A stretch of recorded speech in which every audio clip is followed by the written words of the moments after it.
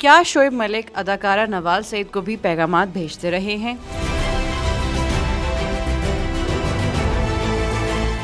पाकिस्तानी अदाकारा नवाज़ सईद ने क्रिकेटर्स की जानब से किए जाने वाले पैगाम पर एक बार फिर बात करते हुए कहा कि क्रिकेटर्स को ऐसे मैसेजेस नहीं करने चाहिए, क्योंकि लोग उनको आइडियलाइज करते हैं। उनसे पूछा गया कि क्या उन्हें मैसेज भेजने वाले गैर शादीशुदा क्रिकेटर्स हैं या नहीं, जिस पर उनका कहना था कि लाजमी नहीं कि उन्हें मैसेज भेजने वाले क्रिकेटर्स गैर शादीशुदा हों, वो शादीशुदा भी हो सकते हैं। अदाकारा नवाज़ सईद हाल ही में निजी टीवी चैनल के रमज़ान ट्रांसमिशन में शरीक हुई। प्रोग्राम के दौरान एजाज असलम ने अदाकारा नवाज़ सईद को तंग करते हुए याद दिलाया कि उन्हें भी रात गए क्रिकेटर्स के मैसेजेस आते हैं। इस पर नवाज़ सईद ने मुस्कुराते हुए कहा कि एक टीवी शो के दौरान उनके मुँह से ऐसी ही क्रिकेटर्स की बात निकल गई थी, लेकिन ये बात झूठी नहीं थी। मेजबान नादिया खान ने कहा कि गैर शादीशुदा कौन से क्रिकेटर्स हैं? क्या वो सिंगल हैं? उन सब के नाम लिए जाएँ। जिस पर नवाज़ सईद ने मुस्कुराते हुए कहा कि लाजमी नहीं कि उन्हें मैसेजेस करने वाले क्रिकेटर्स गैर शादीशुदा हों। नवाज़ सईद की बात पर नादिया खान ने उनसे सवाल किया कि क्या उन्हें शोएब मलिक ने मैसेजेस भेजे, जिस पर अदाकारा मुस्कुराती रही, लेकिन किसी भी क्रिकेटर का नाम नहीं लिया।